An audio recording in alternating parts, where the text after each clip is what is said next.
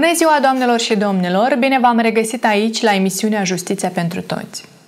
Deoarece suntem la aproape un an de la aplicabilitatea pe întreg teritoriul al Europei a regulamentului european 679 din 2016 cu privire la protecția datelor cu caracter personal și libera circulație a acestor date și deoarece se mai observă un nivel destul de înalt al gradului de neconformare cu prevederile acestuia, dar și a nivelului de confuzie în rândul oamenilor de afaceri și a profesioniștilor din domeniu, Vom încerca astăzi să mai lămurim câteva aspecte practice în ceea ce ține de conformarea cu acest regulament inclusiv să răspundem în partea a doua a emisiunii de astăzi întrebărilor venite între timp din partea dumneavoastră.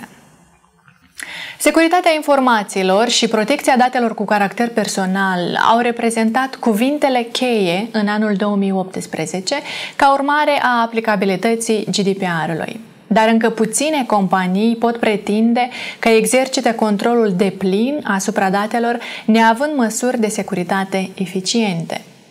Din mai 2018 și până acum au fost emise de către autoritățile naționale europene diverse ghiduri, clarificări, explicații, toate menite să ușureze conformarea entităților cu prevederile regulamentului. Mai mult decât atât, la nivel național avem și primul proiect academic ce vizează inițierea studenților la drept din anii 2 și 3 în ceea ce privește prevederile regulamentului european cu privire la protecția datelor cu caracter personal, care va avea loc la Facultatea de Drept a Universității din București în perioada martie-mai 2019. Da, este general acceptat că majoritatea entităților vor suferi atacuri cibernetice dacă nu au avut deja. Amenințările sunt multe și sofisticate, iar organizațiile care sunt bine pregătite pentru aceste incidente vor avea, de obicei, un impact foarte redus. De aceea este extrem de important să fim informați și pregătiți pentru astfel de situații, pentru a evita atacurile cibernetice, pentru a evita sancțiunile usturătoare, dar și pentru a evita pierderea clienților, partenerilor de afaceri din cauza deteriorării reputației.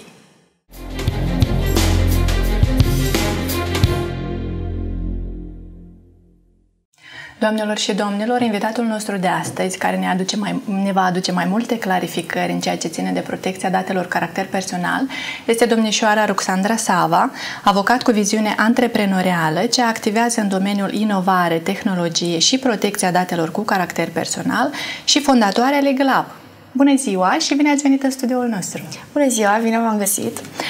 Acum, la aproape un an de la aplicabilitatea GDPR-ului, avem încă multe entități care nu au făcut aproape nimic din acest punct de vedere, sub diverse motive. Ori că e prea costisitor, ba că nu sunt consultanți în măsură să implementeze la societatea lor, sau pentru că nu sunt conștienți de consecințele neconformării. De, de aceea, întrebarea și preocuparea noastră este pot firmele mici și mijlocii să asigure uh, conformarea cu prevederile regulamentului uh, european folosind doar resurse proprii? Adică pot ei fără consultanți, fără careva softuri, fără kituri, fără nimic, să asigure conformarea cu acest. Și dacă da, atunci care ar fi un checklist ca să se asigure asta am făcut-o, asta am făcut-o, sunt conform? E posibil așa ceva? Uh, aș spune că mă îndoiesc că o companie mică sau medie, fără departamente legal, poate să uh, se conformeze la GDPR doar cu resurse proprii. Uh, ca să uh, spun acest lucru, mă bazez pe faptul că uh, regulamentul 679 uh, pe 2016 este uh, o legislație care poate fi înțeleasă și interpretată doar de uh, juriști. Uh, prin urmare, chiar dacă în interiorul unei companii există uh, un jurist, un consilier juridic sau un avocat in-house, uh, trebuie să luăm în calcul faptul că acest domeniu este un domeniu nou de drept care nu se studiază în facultate, prin urmare este nevoie de timp și energie, astfel încât companiile să uh, înțeleagă ce anume au de făcut. Uh, timp și energie pentru studiu, pentru cursuri, pentru cărți, pentru certificări, Uh, din ce am discutat uh, inclusiv cu colegii mei specializați pe acest domeniu, ar fi nevoie cam de aproximativ 300 de ore pentru înțelegerea teoriei. Uh, iar după, această, după ce această teorie este înțeleasă, Uh, trebuie să ne dăm seama cum putem să aplicăm în practică, cum putem să ne conformăm exact și trebuie să avem o serie de uh, proceduri, uh, vorbesc uh, bineînțeles de documentația scrisă, dar și de implementarea tehnică. Uh, eu am început cu acest uh, domeniu în 2016, am studiat teoria dintr-o simplă curiozitate profesionională. Și când, vă referiți, când ziceți teoria, nu vă referiți doar la textul regulamentului. Sunt multe alte informații uh, care ar trebui luate în calcul, nu-i așa? Prima dată am citit regulamentul și n-am înțeles nimic. Da. Iar după aceea... E experiența aproape fiecărui specialist, chiar specialist în domeniu, îmi permit să zic. Și tocmai acest lucru că n-am înțeles nimic m-a determinat să aflu ce este acest, uh, această lege atât de complicată pe care nu pot să o înțeleg. Și atunci, bineînțeles, mi-am comandat cărți în afară, în România nu existau pe vremea aceea cărți, uh, le-am studiat, uh, am studiat opiniile grupului de lucru și după aproximativ un an cumva s-a legat acest puzzle și am zis ok, acum știu teoria, pot să mă apuc de uh, să lucrez efectiv. Și în acel moment au venit, uh, s-au sincronizat cumva lucrurile și au venit primele uh, cereri de la clienții actuali. Uh, uh, ok, uh, uh, uh, vă rugăm să ne ajutați și cu acest GDPR. Și atunci mi-am dat seama că mă aflu, chiar dacă știu teoria, mă aflu în, fa- în fața unei foi goale uh, și nu am modele, nu am documente Uh, pe care să lucrez. Noi, avocații, suntem obișnuiți să lucrăm cu uh, documente, cu modele. Uh, modelele există de la avocați mai în vârstă, cu experiență, care ni le pun la dispoziție sau există inclusiv pe internet. Uh, cu GDPR-ul a fost uh, complicat pentru că nu existau modele și încercând să fac apel la colegii mai mari din corporații să mă ajute, toți, toți îmi ziceau nu avem, nu știm despre ce e vorba. Și nici autoritatea, din păcate, nu ne-a ajutat din acest punct de vedere. Da, nici autoritatea nu ne-a ajutat, de aceea trebuie să mă îndrept către autoritățile din afară, da. în special către autoritatea din UK, uh, pentru că engleza era limba pe care o cunoșteam. Uh, și a trebuit să intru în tot felul de uh, să-mi fac conturi pe diverse site-uri ca să aflu exact ce trebuie făcut, cum trebuie făcut uh, și cum să scriu acele documente. Și după câteva luni de research, Uh, am avut prima procedură de implementare uh, care atingea punctele din regulament. Această um, această procedură de implementare am făcut-o, bineînțeles, lucrând pe clienți. Pe clienții mei a trebuit să livrez documentele care tre- uh, trebuiau, iar ulterior am zis, dacă tot am această procedură, să o pun la dispoziția oamenilor pe internet și am construit un kit de implementare care a fost uh, achiziționat de uh, diverse companii care uh, vroiau să se asigă, să se conformeze la GDPR, dar și de o parte din consultanți, firme de avocatură, diversi specialiști în protecția datelor. Sunt foarte interesată de să ne spuneți de diferențele de kituri, dar până acolo vreau să vă rog să ne spuneți despre pașii, dacă sunt poate câțiva pași pe care ar trebui să-i urmăm ca să ne asigurăm că am implementat cum trebuie GDPR-ul. De la ce începem? De unde pornim? Uh, primul pas este întotdeauna conștientizarea. Trebuie să conștientizăm faptul că avem o, o nouă legislație care este deosebit de importantă în plan de tranziție către mm, societatea digitală și că domeniul datelor cu caracter personal este important. De aceea trebuie să înțelegem că Uh, ca organizație avem uh, mai multe obligații printre care o obligație de a înțelege, în primul rând, ce date avem în companie. De aceea, al doilea pas, din punctul meu de vedere, este descoperirea, maparea datelor cu caracter personal. Să ne dăm seama ce date prelucrăm, de unde provin acestea, ce facem cu ele, uh, cui le transmitem și dacă avem nevoie să uh, le stocăm pe toate, dacă nu cumva unele nu ne trebuie și dacă nu cumva le ținem prea mult în companie. Uh, după ce facem un um, audit al datelor, uh, ar trebui efectiv bine. Uh, acest audit al datelor uh, trebuie cuprins într-un uh, registru care este cerut inclusiv de regulament prin articolul 30, un registru al operațiunilor în care trebuie să trecem efectiv ce date colectăm cu privire la ce persoane vizate, unde merg ele, pe ce perioade le stocăm, Uh, și ce, uh, ce măsuri de securitate am implementat, temeiul legal, dacă avem un temei legal să uh, stocăm aceste, să prelucrăm aceste date. După ce am întocmit acest registru, ar trebui să urmeze, adică după ce avem o evidență clară, o hartă a datelor noastre cu caracter personal, ar trebui să luăm um, regulamentul de la, pe articole și să ne dăm seama exact ce avem de făcut. Uh, în primul rând, trebuie să ne asigurăm că respectăm uh, drepturile persoanelor vizate. O atenție deosebită trebuie acordată dreptului la informare. Prin urmare, organizațiile trebuie să se asigure că au o transparență față de persoanele vizate. Uh, notele de informare, uh, prin organizațiile trebuie să-și informeze persoanele vizate cu privire la modalitatea în care le prelucrează datele uh, prin intermediul unei note de informare pe înțelesul lor. Uh, aceste informări trebuie și stocate, nu este suficient să informăm, ci trebuie să și demonstrăm că am informat. Prin urmare, în eventualitatea unui control, autoritatea ne va cere dovada că am informat. Și nu numai aceasta, de exemplu, noi informăm uh, persoanele vizate despre drepturile lor, de exemplu, dreptul la acces. Da? Trebuie să ne asigurăm că putem chiar să oferim acel drept la acces, da? Da. într-un mod uh, sau ce fel de date cu caracter personal prelucrăm uh, în ceea ce ține de persoana respectivă. Trebuie să prezentăm, să putem prezenta într-un mod structurat toate datele cu caracter personal să fie vizibile. Uh, sunt multe și dacă nu putem asigura acest lucru, degeaba facem acea informare, nu-i așa? Cam așa este. Tocmai de aceea, pe lângă dreptul la informare, mai sunt uh, și alte drepturi ale persoanelor vizate.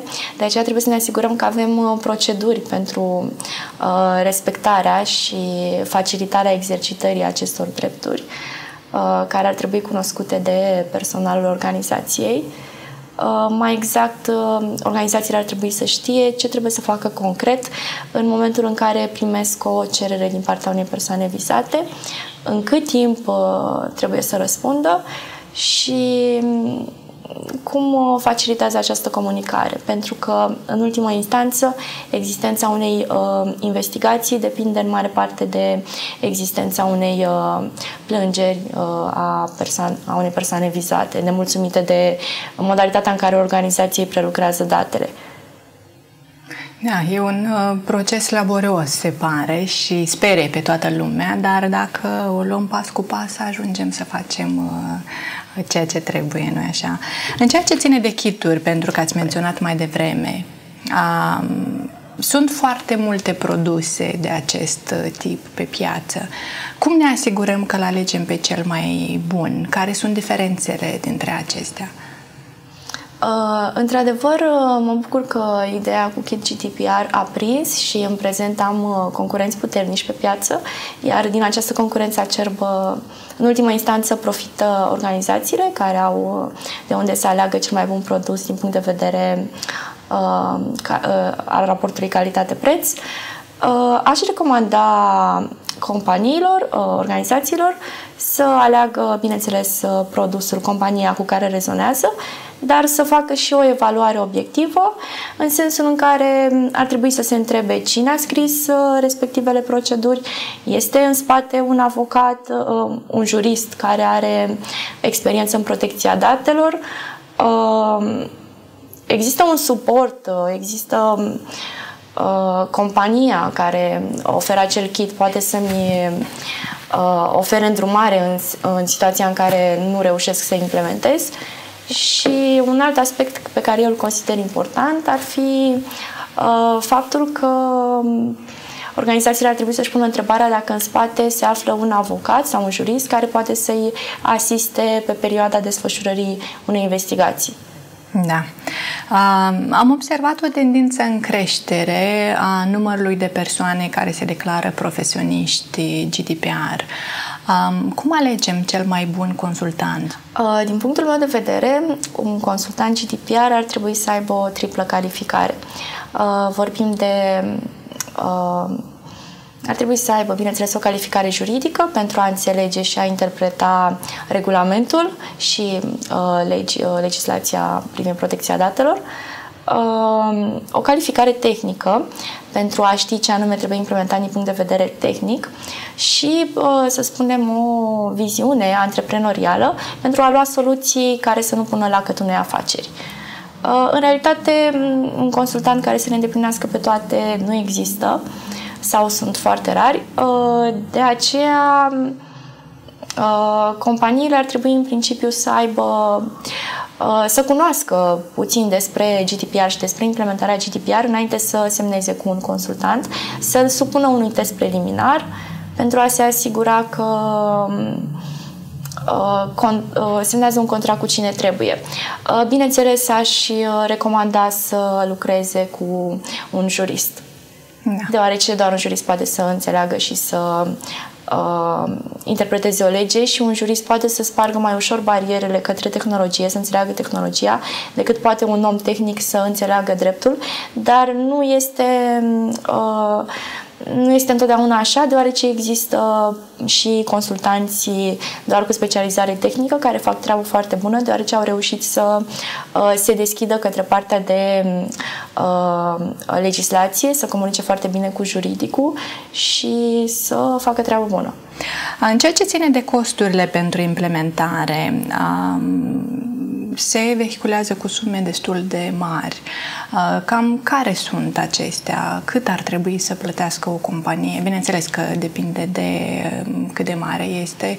Um, cam cât ar trebui să plătească și cam cât durează implementarea GDPR-ului? Uh, implementarea GDPR-ului uh, poate dura de la câteva luni pentru o companie mică până la și câțiva ani pentru o companie mare. Uh, important de menționat este faptul că um, implementarea GDPR nu se termină niciodată, pentru că Așa ea trebuie menținută și actualizată. Uh, legislația se schimbă, apar noi recomandări, vom avea practică judiciară în curând. Uh, afacerile, bineînțeles, se schimbă și evoluează și ele și pot impacta Uh, protecția cu caracter personal. Prin urmare, procedurile pe care noi le-am scris și le-am implementat astăzi este uh, foarte probabil să trebuiască să fie actualizate în viitorul apropiat. Uh, când vorbesc de costuri, costurile variază de la câteva sute de euro în situația produselor kit GDPR până la câteva mii de euro în situația consultanței specializate. Uh, depinde de cum vrei să uh, uh, te conformezi la GDPR, dacă mergi pe varianta restaurant de lux, cu un consultant care îți răscolește fiecare colțișor al afacerii și te pune foarte multă muncă, prin urmare vei plăti această muncă la un cost mult mai mare sau mergi pe varianta McDonald's în care achiziționezi un kit și decizi să faci tu munca tu îți cunoști afacerea și tu vei face marea majoritate a muncii. Uh, oamenii din spate care îți oferă suportul vor fi doar acolo să, când tu vei avea o întrebare sau nu vei ști ce ai de făcut. Uh, în funcție de ambele variante sunt bune. Depinde foarte mult de cum uh, ce resurse are organizația și cum dorește să aloce resursele ca timpul și bani. Da, așa este. În ceea ce ține de implementare, până acum cele mai conștiincioase par a fi cele din domeniul privat. Cum stau entitățile publice? Au avansat din acest punct de vedere? Cum credeți? De curând am făcut uh, un sondaj uh, pe Facebook, au răspuns câteva sute de persoane. Era o întrebare referitoare la respondenții trebuiau să bifeze dacă lucrați la o instituție publică sau la o instituție privată. Ce am înțeles uh, eu din rezultatele sondajului a fost faptul că instituțiile publice s-au conformat mai puțin decât instituțiile private, însă um, observ um, o evoluție, observ că se depun totuși eforturi în această direcție, însă nu suficient de repede cum ar trebui, dar cred că suntem pe drumul cel bun. Um, să vorbim puțin despre sancțiunile care s-au dat până acum uh, din acest punct de vedere. Um, ce avem, la, atât la nivel național cât și internațional? Uh, la nivel național nu avem momentan nicio sancțiune. Uh, după cum bine se știe, în România lucrurile se mișcă mai greu. Uh, că cele probabil care se dau acum se dau încă pe legea veche, că sunt de durată procesele. Da, investigațiile într-adevăr durează o perioadă mai lungă de timp.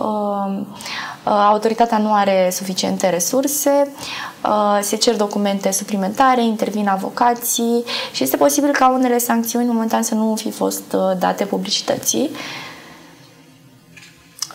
Cu privire la nivel internațional, să spun la nivel european, s-au acordat câteva sancțiuni cea mai celebră este amenda dată lui Google în Franța de 50 de milioane de euro pentru nerespectarea transparenței față de persoanele vizate și nevalabilitatea consimțământului.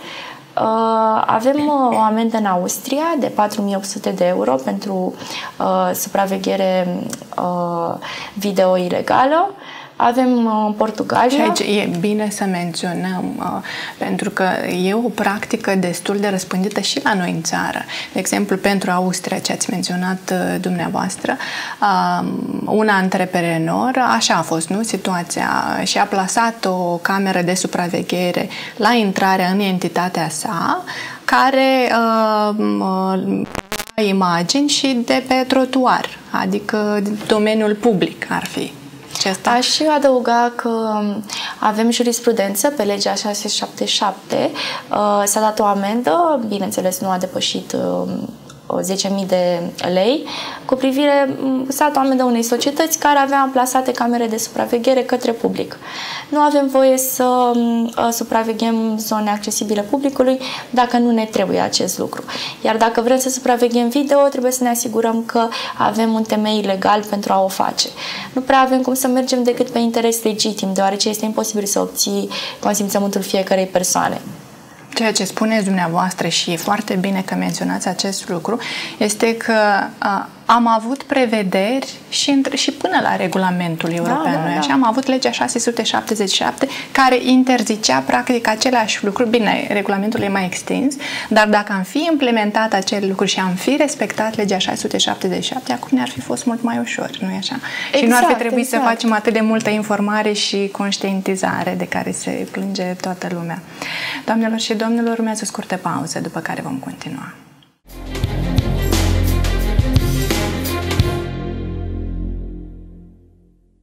Doamnelor și domnilor, am revenit în studio.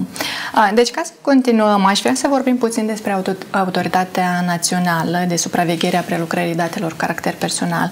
Aceasta a publicat uh, procedura de efectuare a investigațiilor, care reglementează detaliat, uh, prin decizia Autorității Naționale de Supraveghere numărul 161 din 9 octombrie 2018, cum se face o investigație și care sunt uh, prevederile principale de care ar trebui să ținem cont. Care sunt acestea?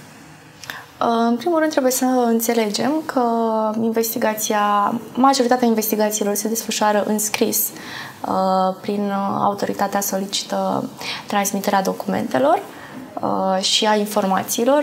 De obicei se instituie un termen de câteva zile Uh, dar bineînțeles în cazuri mai uh, complexe sau când uh, documentele și informațiile solicitate în scris nu sunt suficient de clare, investigațiile pot fi și pe teren. Mai exact, organizațiile se pot trezi cu inspectorii autorității la sediu.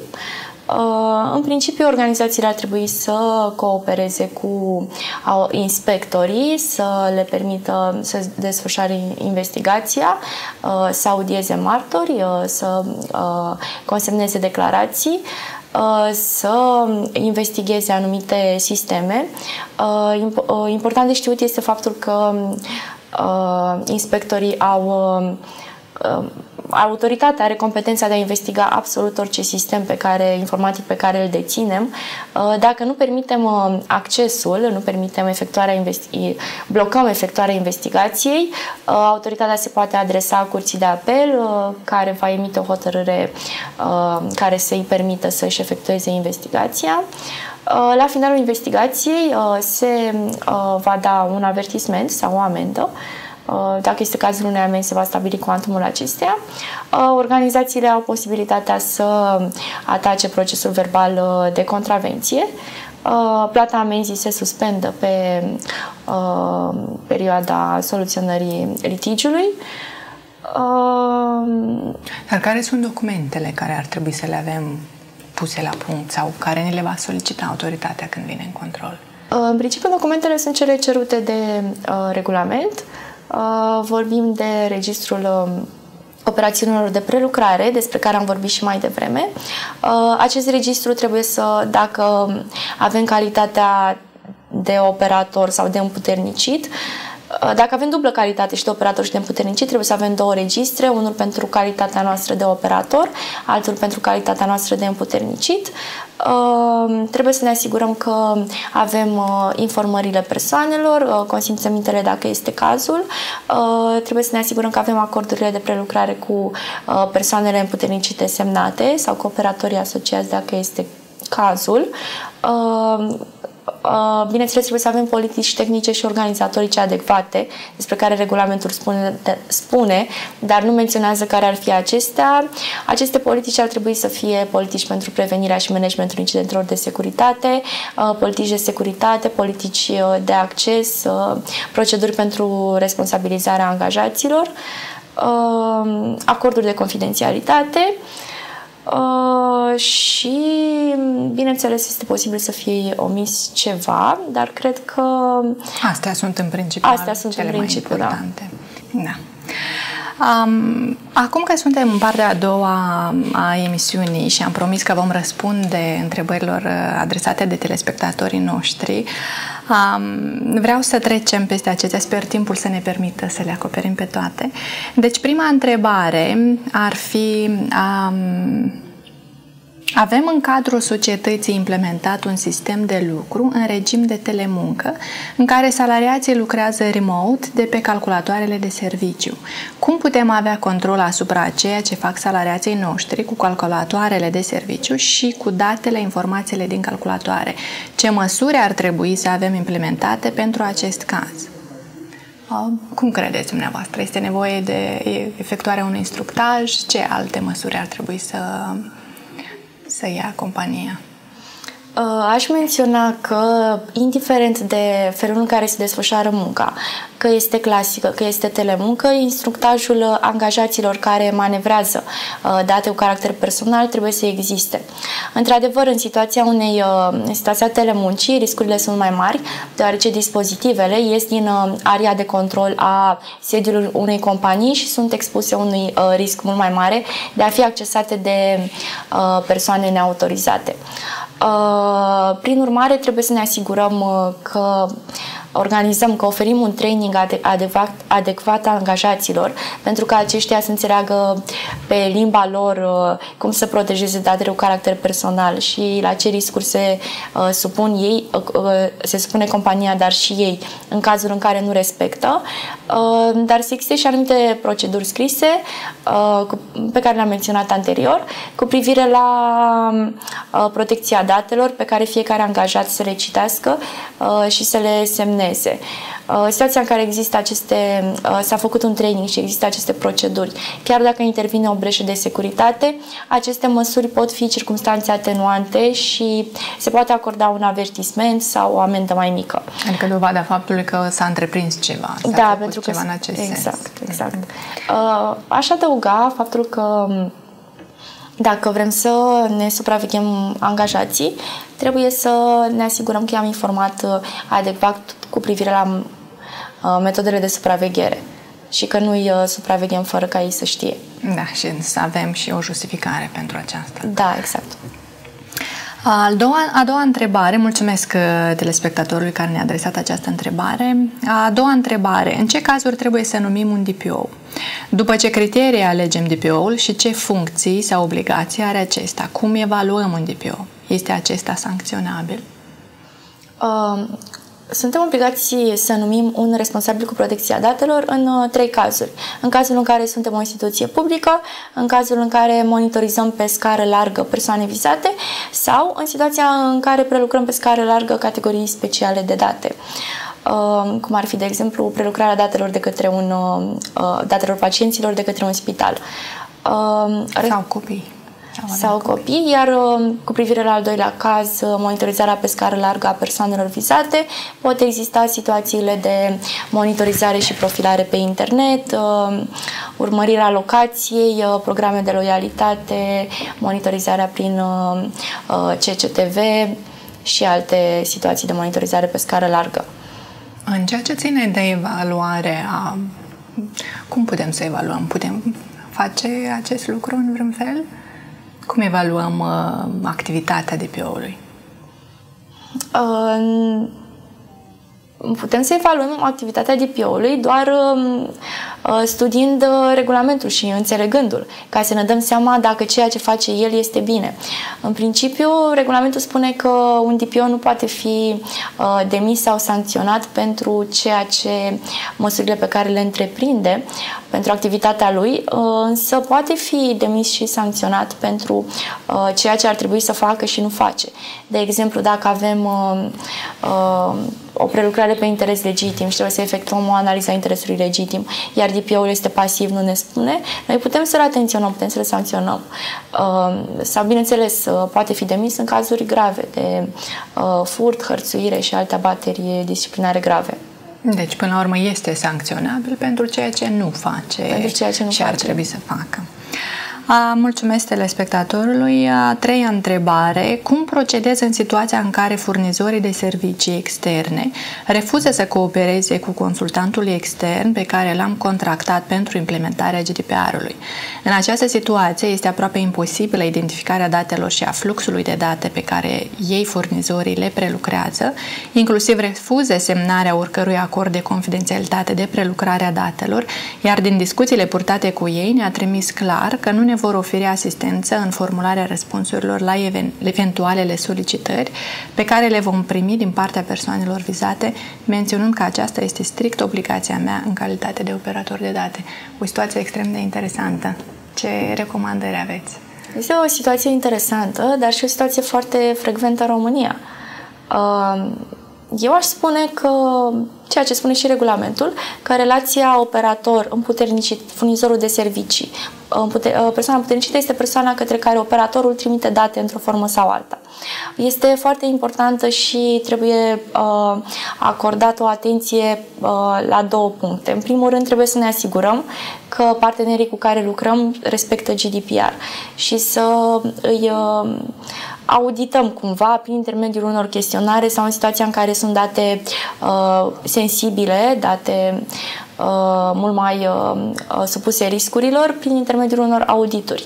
Dacă rezultă că furnizorul de servicii, persoana împuternicită, nu respectă GDPR, nu ar trebui să contractăm și ar trebui să căutăm furnizori de încredere. Dacă de asemenea furnizori de încredere, adică furnizori care respectă GDPR. Dacă, și care ne oferă acele garanții pe care le prevede. Garanții adecvate, exact. Uh, dacă la fel nu se ajunge la încheierea acordurilor de prelucrare, ar trebui să se uh, găsească alți parteneri. Uh, aș adăuga că este foarte important, ar trebui să nu ne culcăm pe ureche și să încercăm să rezolvăm această situație, pentru că un operator poate fi sancționat pentru uh, faptul că lucrează cu o persoană puternicită care nu prezintă suficiente garanții. de menționat acest aspect, da. exact. Adică, până la urmă, e responsabilitatea operatorului să se asigure că acea persoană împuternicită îi oferă garanții adecvate și că asigură securizarea datelor caracter personal pe care îi le încredințează, nu-i așa? Ce se întâmplă în cazul în care, să zicem, furnizorul respectiv deține monopolul și nu are alt furnizor la care să apeleze? Păi avem, nu poate să-și închide businessul. Avem, de exemplu, cazurile, bineînțeles, giganții economici, Google, da. Facebook. Ei uh, impun uh, termenii și condițiile lor, adică au uh, data processing agreement prin intermediul unor termeni și condiții pe care ai posibilitatea să-i accepti sau să-i respingi. Dacă nu ești mulțumit de garanțiile oferite de către ei, uh, nu lucrezi cu ei. Din punctul de vedere, din punctul de vedere și al autorităților de supraveghere, nu este ok acest lucru, deoarece trebuie să existe o negociere reală a acelui acord. Însă, momentan, uh, cam asta este situația. Ar fi, ar fi o o soluție uh, să sesizăm autoritatea atunci când avem furnizori de genul uh, că na, nu vor să coopereze, nu vor să se conformeze cu GDPR-ul și nu vor să ofere garanții uh, adecvate? Da, da, ar fi o idee bună. Da, să soluționăm pe această cale, nu-i așa? Să adresăm cel puțin o întrebare și să așteptăm răspunsul care poate să fie cel puțin interesant. Exact. Orice problemă poate avea cel puțin o soluție, dar trebuie să întrebăm, să ne interesăm și să încercăm să rezolvăm. Mulțumim telespectatorului. Următoarea întrebare. Care este specificul implementării GDPR-ului la o clinică medicală nu prea mare, care prestează atât servicii de consultanță medicală, cât și analize de laborator? În mod normal, utilizăm o aplicație software pentru analizele medicale care oferă accesul pe web la rezultate, rezultatul analizelor. E suficientă protecția user password? Ar mai avea nevoie de alte modalități de protecție? Uh, o întrebare foarte specifică. Uh, ce ne puteți spune la acest uh, subiect? Aș spune că până în mai Uh, în primul rând, când este vorba de domeniul medical, trebuie să acordăm o mare importanță aici. Standardele sunt mult mai ridicate pentru că vorbim de date sensibile. Uh, cu privire la securitate, aș spune că până pe 25 mai aveam un ordin al avocatului poporului care instituia anumite cerințe minime de securitate care trebuiau respectate cu privire la lungimea parolelor, uh, antivirus, modul de logare, închiderea automată. Momentan aceste dispoziții, acest ordin a fost abrogat Însă, la ultima conferință la care am participat și a vorbit autoritatea de supraveghere, au zis că ei încă merg pe aceste cerințe minime de securitate. Prin urmare, recomand companiilor să citească ordinul avocatului proporului privind măsurile de uh, cerințele minime de securitate și să se asigure că uh, atât ei cât și persoanele lor împuternicite respectă aceste cerințe. Și plus la aceasta, probabil să citească și sancțiunea uh, dată de autoritatea din Portugalia, acei, acelui cabinet da. Uh, medical. 400.000 de euro pentru o breșă de securitate. Exact. Și uh, autoritatea a specificat foarte clar neregularitățile și chiar recomandări cum ar fi trebuit uh, să soluționeze, deci ar fi foarte util telespectatorului respectiv. Um, mulțumim pentru întrebare. Următoarea întrebare. Cum determinăm perioada de stocare, păstrare a datelor cu caracter personal? După ce criterii ne ghidăm, ce facem cu ele la expirarea acelei perioade? Uh, unul dintre principiile GDPR este limitarea stocării. Prin urmare, nu trebuie să stocăm datele mai mult decât este necesar. Uh, în primul rând trebuie să ne asigurăm uh, să uh, citim în lege, să vedem dacă nu cumva această perioadă este reglementată de lege, cum este cazul documentelor financiar-contabile care trebuie păstrate pe o perioadă de 10 ani. Uh, dacă am verificat în legislație și nu există un, o durată de stocare legală, trebuie să stabilim noi o durată de stocare. Uh, eu recomand companiilor să stabilească o durată de stocare care să acopere cel puțin termenul general de prescripție de 3 ani, deoarece este posibil ca în acest interval să ai nevoie de date pentru a te apăra în eventualitatea unui litigiu sau a intenta chiar tu un litigiu civil Uh, sau, mă rog, o problemă penală, uh, dar uh, după împlinirea acestei perioade, datele ar trebui șterse sau transformate în date anonime pentru a fi utilizate în scopuri statistice. Recomand companiilor să folosească formulări de genul 5 ani de la încetarea contractului, 4 ani de la ultima interacțiune, Uh, și să aibă uh, proceduri uh, și mecanisme clare pentru ștergerea, distrugerea datelor din mediile fizice sau informatice de stocare. Și toate acestea cu, în paralel cu nomenclatorul arhivistic, probabil, da, ca da. să ne ghidăm și de acesta. Um, una dintre recomandările principale ale GDPR-ului este minimizarea datelor și, de fapt, avem și sancțiuni acum la nivel uh, european uh, tot pe minimizare. Um, Astfel că multe entități renunță la măsurile excesive, precum amprentarea atunci când uh, amprentele digitale atunci când nu este necesară sau alte uh, mijloace.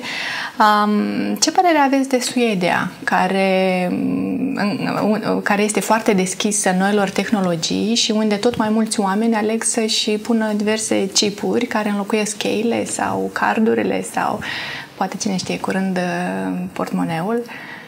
Ce părere aveți de aceste modalități? Uh, cumva acesta este și uh, scopul GDPR, uh, ca să protejeze datele într-o lume bazată pe inteligență artificială și Internet of Things, internetul lucrurilor, uh, perioadă care va începe destul de curând, adică vom avea tot mai multe dispozitive care comunică cu noi, roboți. Uh, sunt, uh, au o părere bună, adică asta este ceea ce va urma și în România, în viitorul apropiat. Și... Sunt sigură că pe mulți îi sperie gândul de a-și uh, implanta un chip uh, ca să înlocuiască toate aceste lucruri, dar probabil ne obișnuim și ne adaptăm uh, la fel cum am făcut-o până acum și cum ar trebui să o facem, nu așa? Corect, da. În ceea ce ține de entitățile care au implementat deja prevederile regulamentului, sau, dar și cele care urmează să implementeze și a persoanelor vizate, ce recomandări aveți sau uh, poate, nu știu, sfaturi din acest punct de vedere? Uh, aș recomanda, în principiu, persoanelor vizate, persoanelor fizice, uh, să nu mai spună atât de multe despre ele, să fie atente cu privire la uh, ce informații dau, îndeosebi în mediul online și către entități care nu prezintă încredere, deoarece riscurile pot să apară vorbind de criminalitate informatică, de furturi de identitate. Uh, fraude cu carduri, cardurile, bineînțeles. Uh, pe de altă parte, bineînțeles, aș recomanda companiilor să înțeleagă că acest domeniu al protecției datelor cu caracter personal nu este doar despre a evita o amendă, ci despre a uh, respecta drepturile persoanelor fizice într-o societate care funcționează pe schimb de date. Foarte frumos, mulțumim pentru recomandări. Acestea au fost uh, curiozitățile pentru ziua de astăzi. Noi vă mulțumim pentru prezență și vă mai așteptăm în studioul nostru. Vă mulțumesc pentru invitație.